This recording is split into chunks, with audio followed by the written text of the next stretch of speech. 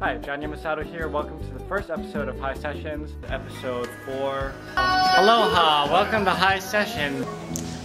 Is it recording? Episode 20 something. Aloha, and welcome to another episode of High Sessions. High Sessions episode 28. And ever since then, sophomore year in high school. Come on. seven foot. Here. Let's just call this 100. It's, uh, did you think we'd ever make it to 100? No. Neither did I. Did you think we'd ever make it to 50? No. Neither did I. But uh, We should have stopped.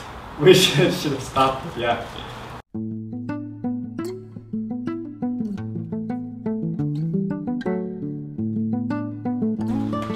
Hi, this is Dave, And I'm Jon Yamasato. and this is our 100th episode of High Sessions with Ian O'Sullivan. Who knew?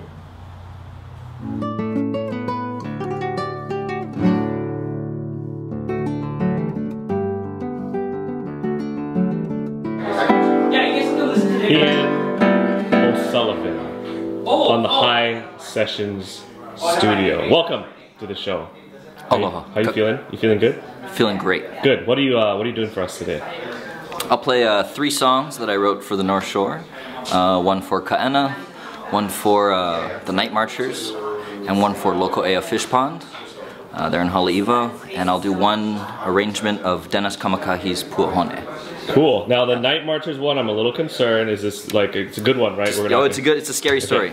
No, no, but we're not. We're not like bringing in the Night Marchers. aren't going to be visiting us. That's why we filmed during the day. Okay, okay, good, good, good. Okay, okay. Well, we're looking forward to it. Thanks for coming in. Uh, have a good time. Oh yeah, it's gonna be a blast. We'll be we'll be watching.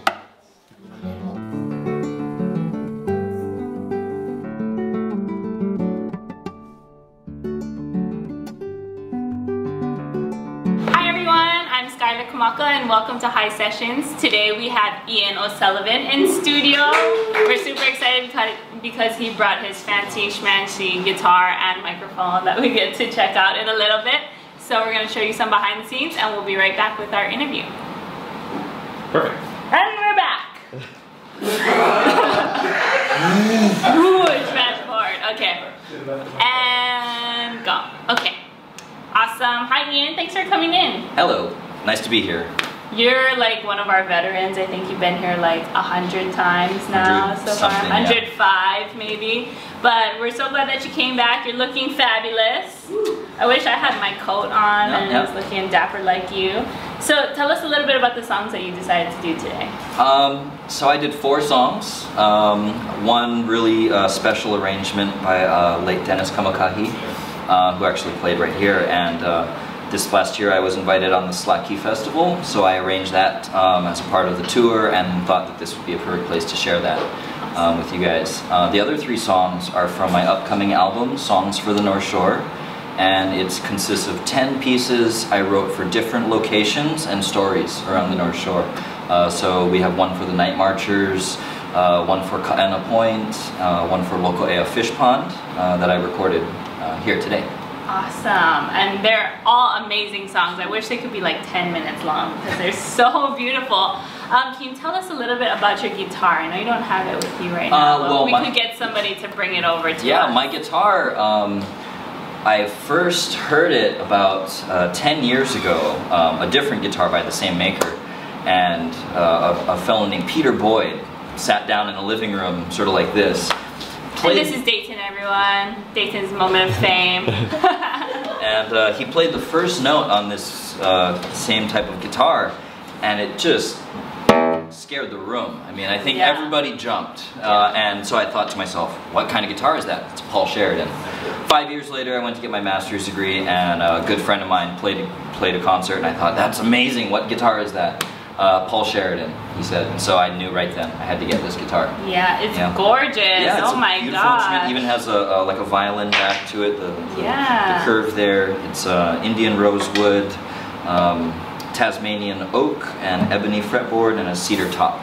Wow, and But, yeah. your sassy gold. I like the Yes, gold the part. gold. I mean, it's just the girl in me. But and it has a couple of cool little portholes here on the side, sports fans. Yeah. And this one, uh, what's cool about this is that uh, when you hold the guitar in classical sitting position, it makes it so that I can hear the guitar as well. Um, usually guitars only project out the front, and so what the audience hears and what the performer hears are really different. Uh, and so this helps to sort of uh, bridge that um, gap. Wow, Yeah. that's super cool. And now to capture this amazing sound, you use a very special microphone. too, Yes. Right? Do you have that mic? Do we have that mic assistance? It's a very cool mic. It is. And it picks up like every little sound, so we have to be extra quiet. Do you know anything about this fancy smanchy mic? I know very little about that fancy schmancy mic, well, it's gold, and but I so I always like use it. it. And uh, and Che and uh, uh, Milan Bertosa um, always uh, use that microphone to record uh, my, my projects. And uh, when I was going to get ready to do high sessions, I thought I had to have that Yeah. that here. We're excited to hear your songs, especially with this mic and your beautiful guitar, and you're just amazing. And thank you so much for being here. Well, thank you very much. We love having you. Bye, everyone.